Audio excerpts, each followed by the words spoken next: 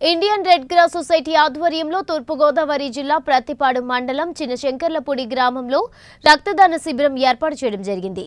ఈ శిబిరంలో అరవై మంది రక్తదానం చేశారు. తలసీమియా వ్యాధితో బాధపడుతున్న నూట నలభై మంది చిన్నారుల కొరకు ఈ రక్తంను వినియోగించనున్నాము అని నిర్వాహకులు తెలిపారు. మహిళలు యువత రక్తదానం చేసిన వారిలో ఉన్నారు. ఈ కార్యక్రమాన్ని ఏర్పాటు చేసిన ఏపూరి శ్రీనివాస్ మాట్లాడుతూ గ్రామాలలో ఎలాంటి భయాందోళన లేకుండా రక్తదానం చేయాలని విద్యార్థులకు మహిళలను యువకులను ముందుకు రావాలని కోరడం జరిగింది. రక్తదానం చేయడం వల్ల ఆరోగ్యానికి మంచిది అని అపోహలు వీడి రక్తదానం చేసిన మరో ప్రాణం నిలపాలి అని ఏపూరి శ్రీనివాస్ పిలుపునిచ్చారు. ఈ కార్యక్రమంలో వైద్యులు మాలకొండయ్య రెడ్ క్రాస్ సిబ్బంది న్యాయవాది బుగత శివ గ్రామస్తులు యువకులు తదితరులు పాల్గొన్నారు.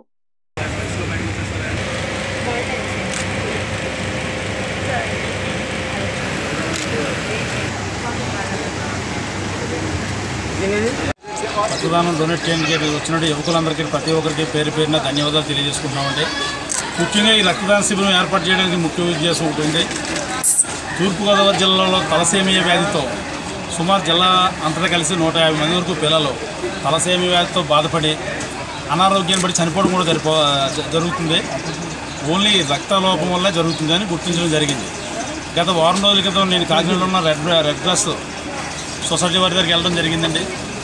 అక్కడ ఆ సమయంలో తలసేమి వ్యాధితో బాధపడుతున్న పిల్లలను చూడడం జరిగింది నేను.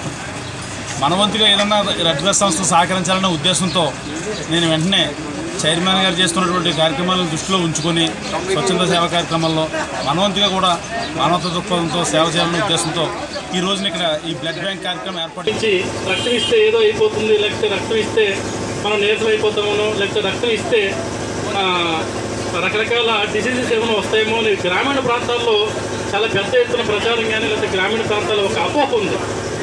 ఇలాంటి ఒక సంఘటితమైనటువంటి కార్యక్రమం ద్వారా ఇలాంటి ఒక మంచి కార్యక్రమం ఇటువంటి గ్రామీణ ప్రాంతాల్లో ఏర్పాటు చేసిన శ్రేణి గారికి ముందుగా అభినందనలు తెలియజేయాలి. దీన్ని పురస్ మన చుట్టుపక్కల గ్రామాల్లో కూడా ఇటువంటి కార్యక్రమాలు చేస్తారని ఇది ఈ సంకల్పంలో జరుగుతున్నటువంటి ఈ రక్తదాన కార్యక్రమం దానికి నాంది అవుతుందని చెప్పి భావిస్తూ ఈ అవకాశాలు ఇచ్చిన శ్రీనివాస్ గారికి నాగేశ్వర గారికి అభినందనలు తెలియజేస్తా ముగిస్తా ఉన్నాను